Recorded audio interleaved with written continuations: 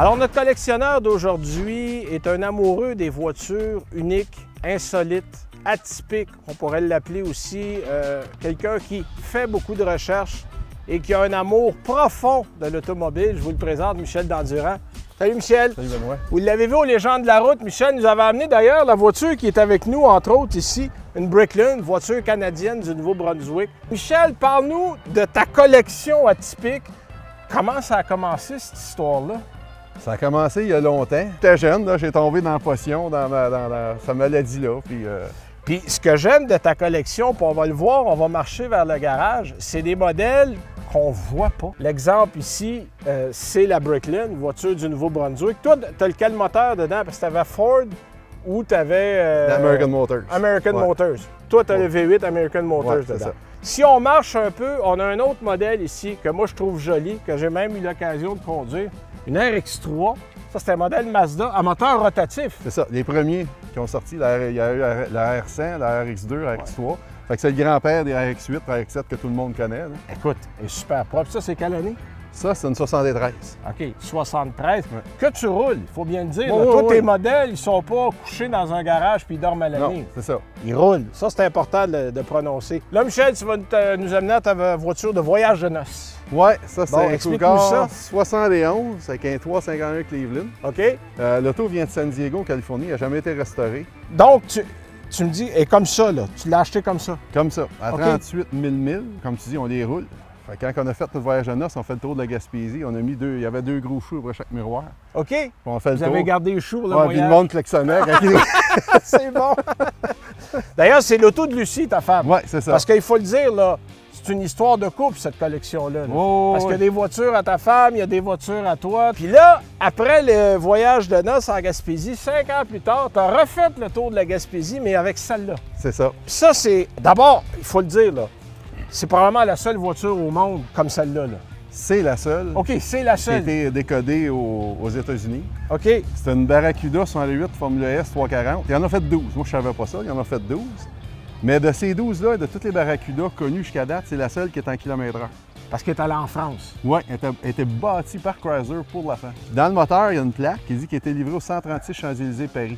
Là, ça, c'est ton modèle décapotable, mais tu as deux autres Barracuda. là. Dans, dans ce modèle-là, oui. de ce modèle-là. De ces là. années-là, ouais. On va en voir une là-bas. là, ici, ça, c'est vos voitures de coupe. Parle-moi de ces deux modèles-là, c'est intéressant. Là. Bon, ça, c'est un CUDA 113 340. Ouais. Ça, c'est euh, c'est mon premier, ma première auto que j'ai acheté à moteur. On n'en dira pas plus, OK. à moteur. Euh, je l'ai acheté en 79, puis je l'ai toujours gardé. Puis quand, quand je l'ai acheté, je le savais, je la garderais toujours. On te contait une anecdote. J'étais allé, j'avais 17 ans, j'étais allé chez Gun Tire, ils vendaient des batteries euh, euh, garanties à vie tant que tu possèdes ton auto. Oui. ça, leur a, ça leur a coûté cher. Même, même- même que la dernière fois, ils m'ont dit c'est fini. Là. Je pense qu'ils m'ont donné 12 batteries. Puis là, après, parce que vous êtes allé à un mariage à Québec. Oui, on est allé à un mariage à Québec. Puis euh, Lucie avait vu une auto à vendre, un Challenger. Puis euh, on est allé Avec un voir. 340 aussi. 340 aussi. OK. Fait qu'on l'a acheté. Fait que techniquement, c'est sa première auto, ma première auto, His and Hers, qu'ils disent en Ah, ouais, ouais. Fait que c'est nos deux autos. Dans euh, le Plum Crazy, ouais. là, la, la- la couleur populaire à l'époque. J'aime Ouais. bien l'intérieur blanc, d'ailleurs. Puis là, en dedans, parce qu'il y en a d'autres qu'on n'a pas sortis, mais il y a des beaux trésors. Bon, là, Michel, on est dans ton garage. Euh, Il y a d'autres modèles, il y en a même un peu en arrière. Mais je veux que tu me parles de ce Barracuda-là, parce que ça, c'est unique, là aussi. Euh, des modèles fleuris, là, ça n'a pas couru bien longtemps, Non. ça. Ils ont fait ça juste en 69. OK. C'est le modèle Mod Top. On voit dans la vitre dans la- Ouais. l'arrière là, que le logo Mod Top. Puis évidemment, tu avais le 318 qui était le, le petit moteur à l'époque. Tu en as eu avec des 340 aussi, je pense, euh, à cette époque-là. Oui. Mais c'est surtout l'originalité, moi, que je trouve intéressante. Parce que des, des- des toits fleuris, là, moi, je n'avais jamais vu ça. Avant de continuer ta collection, Michel, on parlait tantôt de ta première auto. Ouais. Euh, ta première auto est là, là. C'est ça. Donc, en fait, c'est un T-Bird, ça? c'est un T-Bird. T'as déjà rentré là-dedans? Oui. Demande-moi pas de m'enfiler là-dedans. Puis, euh, hey, des gars de char, hein? Peinture d'origine, pneu d'origine. Il est Tout original. original. Et ça, c'est pas un moteur, c'est un barbecue. Oui. Juste pour vous montrer, voyez-vous. Ça, c'est intéressant. Et là, tu as un projet de Manic parce que ça, c'est un moteur de Manic. Oui. On est en train de restaurer la 112e OK? qu'on va voir tantôt. Oui. Puis euh, là, le moteur est prêt. Je l'ai reçu il y a deux semaines. Le moteur est, est neuf. OK, parfait. Ça aussi, c'est du seul au monde. Là. Parce que ça, c'est un prototype qu'il avait fait pour Chrysler, c'est ça? Oui, c'est un contrat pour Plymouth pour compétitionner la Mustang California Special. Fait que c'est un prototype, mais le prototype, il, il a appartenu aussi à George Barris. Lui, il a, il a eu OK, la- donc George Barris a roulé ce Ouais, char-là. lui, il l'a gardé. Ils OK. ont donné. Ce modèle-là finalement jamais existé. Non, ils ont fait quatre kits, OK? qui est les mags, la valise, le, le petit spoiler sur la valise, qui ont été vendus dans des dealers. Fait qu'il y a quatre autos. Il y en a une que je connais. Les trois autres, je pense qu'ils ont disparu. Mais il y a quatre autos qui y ressemblent parce que le kit est installé dans un dealer. Mais ça, c'est ça, c'est le prototype. C'est ça. OK. Là, Michel, on a vraiment une pièce de collection. Là. Un Plymouth Roadrunner avec un 426 MI. Là, par les temps qui courent, ça se vend à des prix de fou. Là. Puis là, parle-moi un peu le capot, parce que le capot, t'as spécial là-dessus. Ouais, ben le capot, c'est que les quatre premiers mois de Roadrunner, où ce que les, les, les- les inserts là, de, de EMI, Ouais. c'est fermé en dessous, il y a de la tôle. Mais ça a tellement marché que là, ils ont préparé le 69 avec l'entrée d'air. OK. Fait qu'après quatre mois, les capots, quand tu enlèves les inserts, il y a un trou pour préparer l'entrée d'air de 69. Mais moi, il est fermé parce que c'est le 13e qui a sorti la ligne de montage. OK. Bon, évidemment, ici, t'as une manique, mais pas une manique ordinaire. là. Parle-nous Ouais. un peu de l'histoire. Bien, cette auto-là, c'est la première qui a sorti de l'usine de Granby. OK, c'est la première. La première de Granby, oui.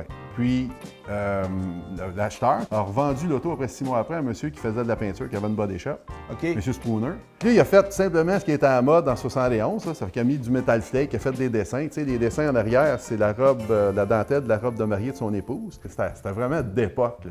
Bon, puis Michel, la dernière, mais non la moindre, c'est une Vega, mais une Vega en moteur Cosworth. Ça, c'est beaucoup Ouais. plus rare. là. Oui, Cosworth, c'est un moteur de, fabricant de moteurs de course. Ouais. Euh, Jacques Villeneuve a gagné 500 000 d'Indianapolis, c'est un, c'est Cosworth. C'est vrai.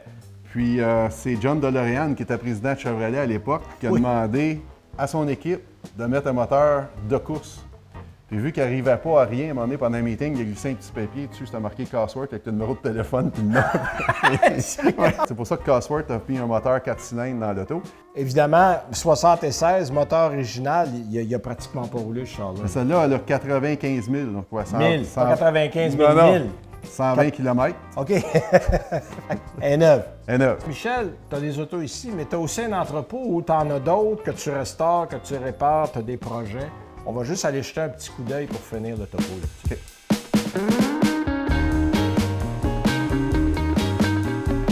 Ben Michel, il y a encore des projets, on le voit ici. Là, en bas, tu as acheté en 2005, c'était un Coronet, ça? Ouais, un Super B rose.